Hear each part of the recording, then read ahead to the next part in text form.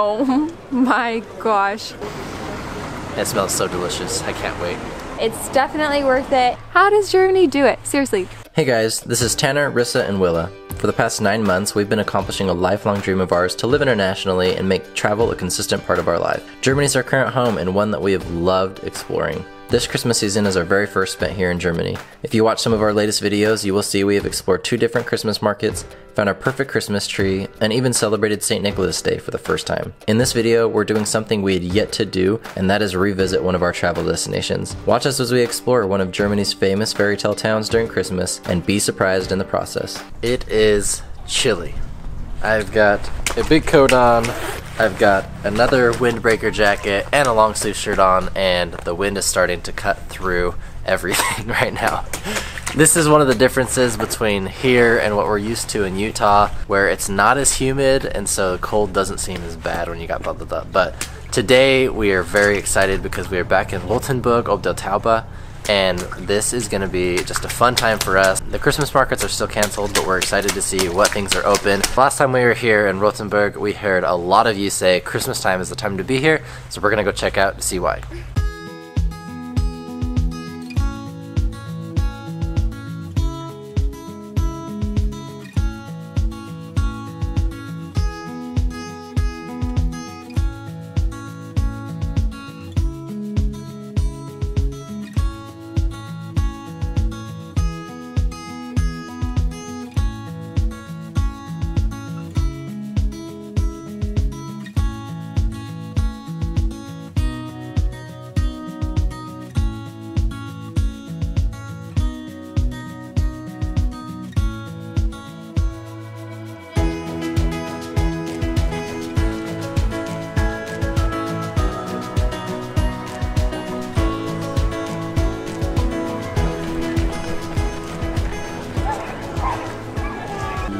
Peekaboo. Peekaboo. ¿Estás lista? Surprisingly, there's a lot more stands than we thought we were going to be here. We just expected most of the shops and stuff to be open, but it seems like there's a lot of food stands and a lot of other Christmas decorations that you can go and see. So we're pretty excited to see what it looks like. This downtown area is decorated so beautifully. Oh my gosh, the Christmas spirit is strong here. Oh my gosh, look at these bouncing toys.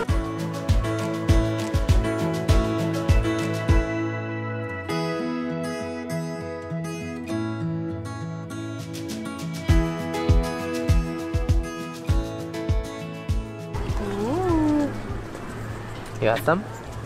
Hot chocolate? Yeah? Okay, daddy's gonna daddy's gonna taste the hot cocoa. It, it might be a little hot, okay?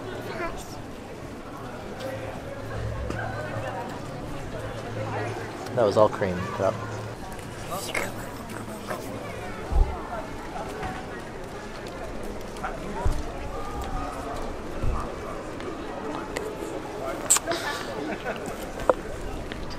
Was ist das bitte? Heiß, heiße Coco? Hot Coco?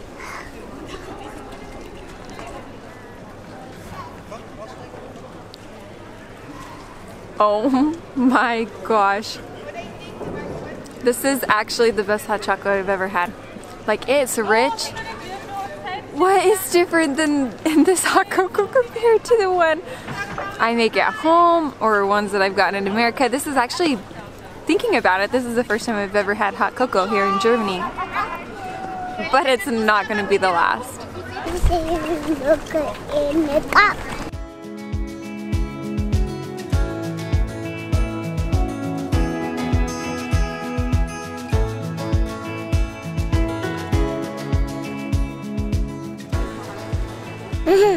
Well, it didn't go a little bit in your nose.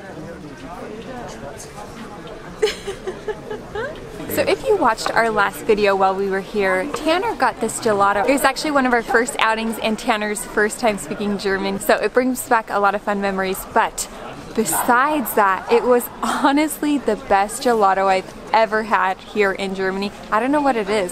Rothenburg and their hot cocoa, their gelato, it cannot be topped. The thing with this gelato is it was like actually like a purplish color. We want to say it was more of a black cherry type of a flavor, but it had Nutella mixed in.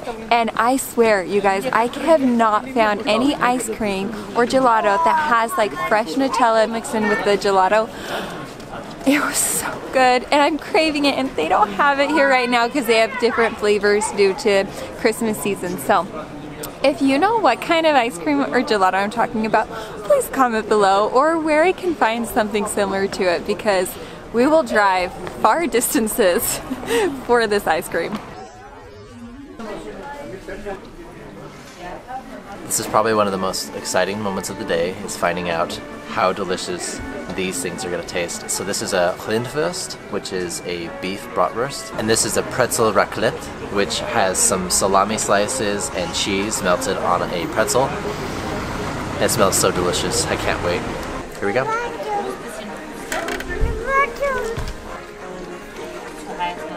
Hot. Festive music.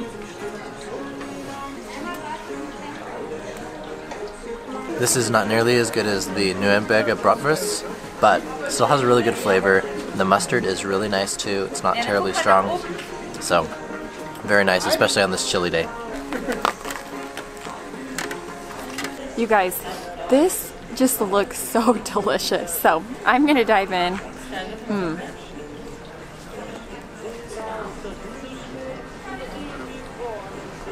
Mm-hmm. Mm. Mm-hmm. Going in for more. Oh man, oh that was a big piece. mm. That says it all. Good. Yeah, I wanted to go for another bite of the salami because I didn't feel like I got enough on the first bite. And that salami just adds a perfect touch of salt to such a savory dish. It's chewy, but it's got that melted cheese, the oils that come in your mouth, and then that salt. Really the perfect meal for a cold day to be able to walk around, hold it, or just sit down and enjoy it.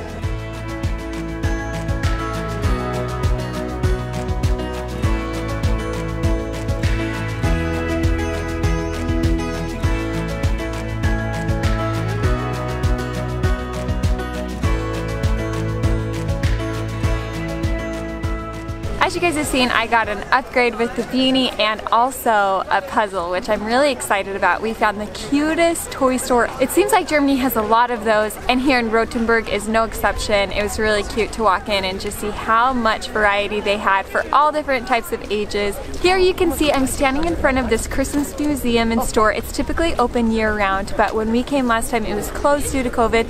It's open now with 2G requirements, and there is quite the line. We're still deciding we're gonna hop in or not. Will has been such a trooper on this trip so far and we're not sure how much further we can stretch it, but it looks really fun and it's just been amazing to see the environment here, all of the decorations. I said it before, but they are breathtaking. We can see why you guys love to come here.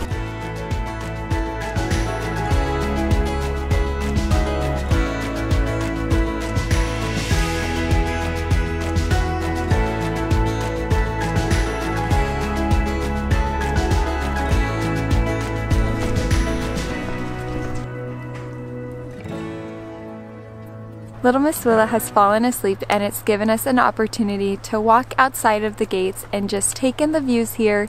It's really fun to be able to reflect back on our trip to Rothenburg back in the springtime to now see it's winter. We've done so much in that time from exploring northern Germany down to southern Germany and as many places as we can in between. We've learned a lot, we've changed along the way and our perspective about Germany continues to change and evolve and just grow. We really do love living here in Germany and we're continually surprised at how incredible this country is. Seriously, from the spring, the summer, the fall, and now winter, we are surprised. We keep thinking we couldn't love a season more. And then a new one comes and we're like, oh my gosh, how does Germany do it? Seriously, there's surprises among surprises and we're just so grateful that they're positive. Although of course there's some lows with this experience, we truly are happy to be here.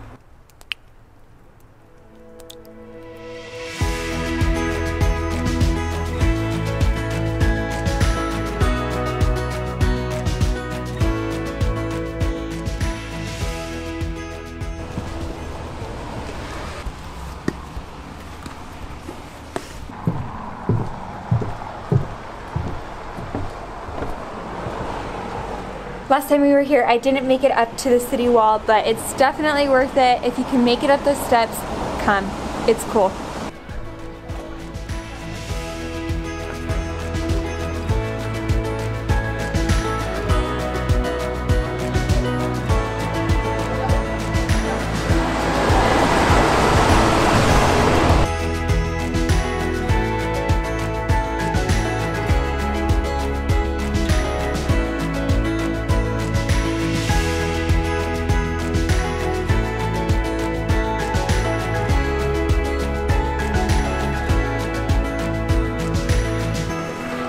I had to go back for round two. It has been such a blast being here in Rothenburg for the second time. Who knew we were gonna have so much fun and that it was gonna be such a reflective moment for Tanner and I as well. It's so interesting because we feel like we saw so many other things that we didn't catch the first time. So it's really fun and shows us that we definitely need to go back to a lot of these places we say we want to again. We didn't end up going into the museum, but the little bit that we did see looked really fun. There was huge nutcrackers and tons of Christmas nativities and fun decorations there. So I'm sure it would have been a blast.